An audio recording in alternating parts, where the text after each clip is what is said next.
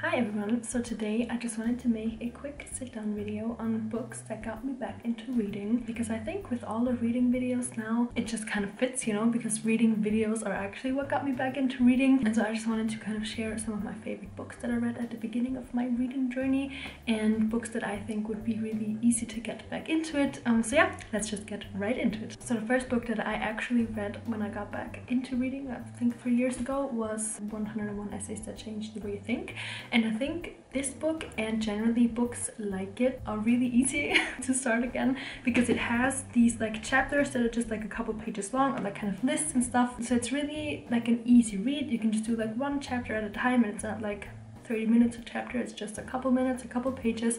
So I think generally Brianna Wiest books are in the same style are really good to get started again. In the same category, I have this book, Untamed by Glennon Doyle, one of my absolute all-time favorites. It's also kind of an essay type book. And this book is just so good, like so inspiring, maybe even motivating. I really enjoyed it. And it's it makes reading fun, you know, you read about somebody's life, but it's not like this long biography thing. It's just very interesting and quick and emotional too. Um, but yeah really recommend this book. Also really loved it. And then another author that i generally really like all of his books is matt haig. Um, i think the midnight library was the first one that i read by him but i also have how to stop time notes on a nervous planet another one that i don't know the english title of. I'll put all the books up here. Um, and matt haig books as you can see they're not that big. This one's like 200 pages i think. So these books are also very easy because it's a fictional story but they have like connections to real life I would say. So it's not like fantasy or anything obviously. It's just fiction. And I really like them because you can take something away. They're not too long. They are always different stories but kind of with the same message behind them. Notes on a Nervous Planet actually is kind of more like the essay books that I talked about before. Overall a great author to get into. And also his books kind of helped me with dealing with anxiety. Obviously it doesn't make it better like when you read one book but it helps to get different views and like also the of other people because Matt Haig himself struggles with a few different mental problems definitely recommend Matt Haig in general. And now an author that is at the same time very popular and also very unpopular amongst the book talk community Colleen Hoover. Um her books are just very easy to read for me. They're very quick, but I do have to say that I don't like all of them and they're just, it's the same scheme. Like there's usually a love triangle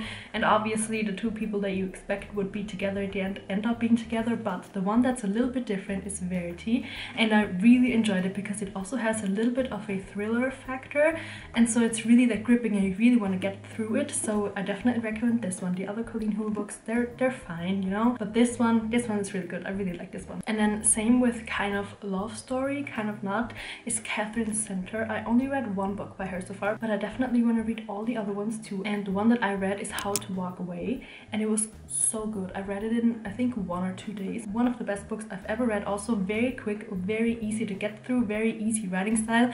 100% recommend Katherine Center. I'm definitely gonna read all of her other books. I am obsessed. Even though some of the aspects of How to Walk Away were kind of predictable, it's not as predictable as Colleen.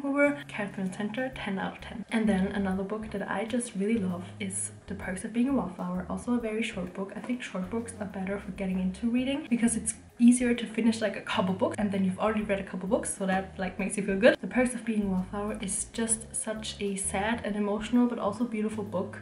It's really moving. I really really liked it. Um, I think the book is way better than the movie even though the movie is good as well. But as I said it's a short book. It's very fast paced because it's easy to read. It's an easy like writing style so you get into it quite quickly and there's also obviously this personal story of the main character that's just very moving and you really want to know what happens next.